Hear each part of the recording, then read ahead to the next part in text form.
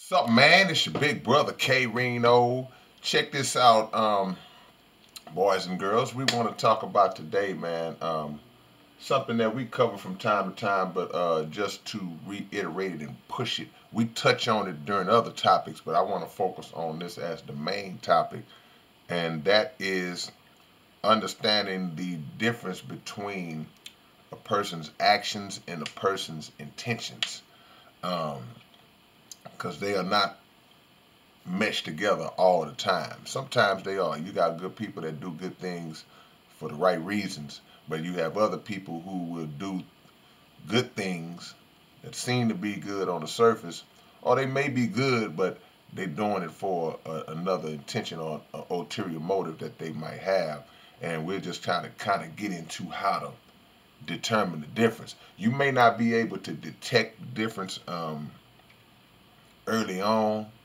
Like if you're just meeting somebody and they're doing this and doing that, you kind of got to feel them out.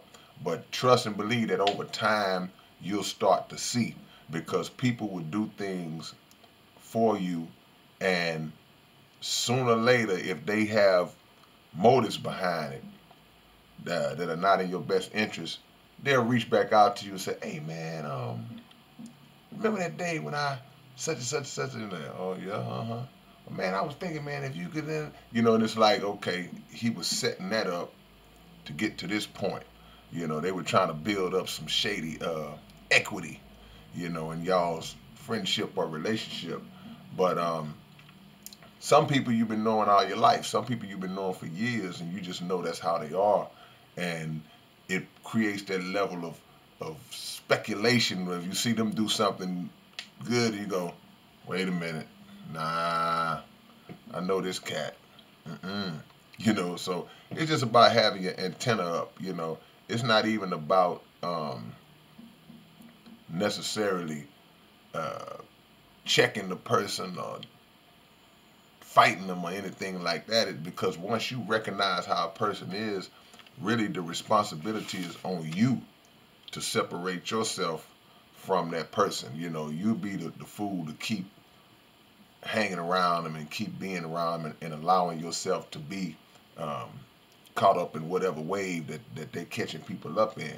But the other aspect to this is when you are on the outside looking in and you recognize that somebody close to you, a friend, a family member, whoever, they may be being victimized by a person who has ulterior motives. You know, you say, well, hey man, this this guy's um, dating my sister, and all of a sudden, you know, every time I look up, my sister is is, is, is giving him money and taking care of him and bailing him out of situations.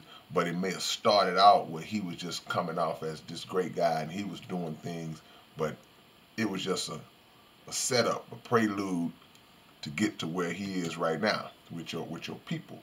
And it's a fine line between trying to let somebody know that's close to you that hey this person might not be the best for you because you can see things that they may not see when you're on the outside of it and sometimes they may be blinded by the feeling the emotion that they're feeling because of how they feel about that person so um, it's it's real tricky man it's real tricky um, you just have to get a game up the best you can because people will get upset with you if you recognize um, shadiness in somebody that they're dealing with and they don't recognize it, and then you try to point it out to them, sometimes they'll get upset with you.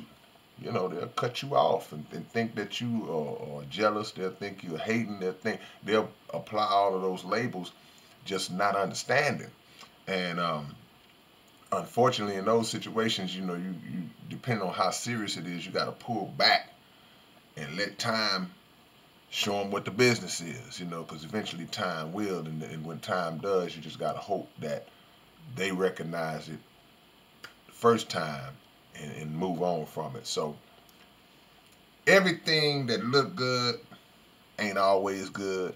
Everything that glitter ain't gold, and we got to know the difference between um, actions and motives. It's not about, it's not 100% about what a person does but it is 100% about why they do it. So if it's your big brother K-Rino, man, y'all let me know what y'all think in the comment section, man. Peace.